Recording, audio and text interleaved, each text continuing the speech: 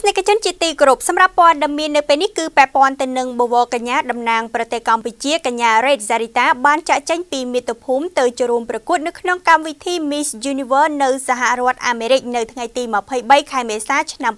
2021ហើយខណៈកម្មវិធីប្រកួតប្រជែងលំដាប់ពិភពលោកមួយនេះត្រូវបានធ្វើឡើងស្របពេលពិភពលោកទាំងមូលកំពុងប្រយុទ្ធប្រឆាំងជាមួយនឹងជំងឺ Covid-19 នៅទីបំផុតបវរកញ្ញាតំណាងកម្ពុជាកញ្ញារ៉េឌីសារីតាបានចាក់ចេញពីមាតុភូមិទៅជួបប្រកួតនៅក្នុងកម្មវិធី Miss Universe នៅសហរដ្ឋអាមេរិកនៅថ្ងៃទី23ខែមេសាឆ្នាំ2021ហើយ ខណៈការប្រកួតកម្មវិធីលំដាប់ពិភពលោកមួយនេះត្រូវបានធ្វើឡើងស្របពេលពិភពលោកទាំងមូលកំពុងប្រយុទ្ធប្រឆាំងនឹងជំងឺ Covid-19 ការចាក់ចែងពីប្រទេសនៅពេលនេះបេក្ខនារីកម្ពុជាដែលមានជំនាញអាចនិយាយបាន3ភាសាកញ្ញារ៉េសារីតាបាននាំយកនៅឈុតតំណាងជាតិដែលមានឈ្មោះថាទេពរូបរួមនិងក្បាច់គុនល្បុក្កតោខ្មែរទៅបង្ហាញនៅលើឆាកអន្តរជាតិជាពិសេសកញ្ញារ៉េសារីតាធ្លាប់បានលើកឡើងថាបណ្ដាប្រទេសជាច្រើនបានស្គាល់កម្ពុជា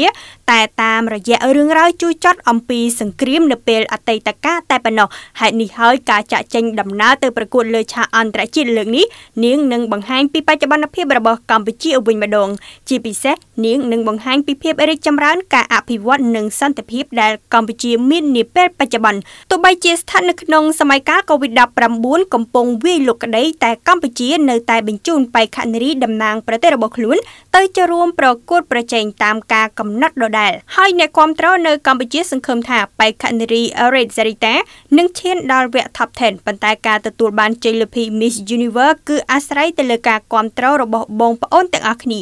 សូមជម្រាបផងដែរថាកញ្ញា Red Zarita គឺជាបេក្ខនារីមួយរូបដែលពោពេញដោយសមត្ថភាពព្រោះក្រៅពីសមត្ថភាពបង្ហាញម៉ូដនិងរូបសម្រស់ហើយនោះងាកមកផ្នែកចំណេះដឹងទូទៅវិញគឺនាងមានការចេះដឹងច្រើនព្រោះក្រៅពីអាចនិយាយភាសាខ្មែរបានល្អហើយនោះនាងអាចនិយាយភាសាអង់គ្លេសនិងបារាំងយ៉ាងស្ទាត់ជំនាញផងដែរកញ្ញាអរ៉េឌីសារីតាធ្លាប់បានចូលរួមប្រកួតនៅក្នុងកម្មវិធី Freshy Girl រហូតដល់ទៅ2លើករួចមកហើយ